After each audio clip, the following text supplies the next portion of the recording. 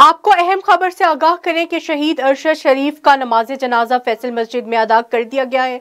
इस हवाले से हमें मजीद बताएँगे हमारे नुमाइंदे जो कि वहाँ पे मौजूद हैं। जी आसिफ, आगाह कीजिएगा।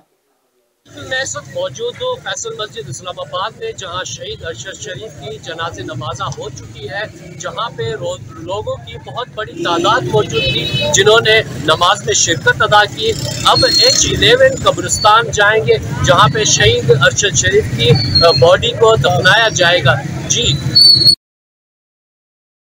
बहुत शुक्रिया, आसिफ।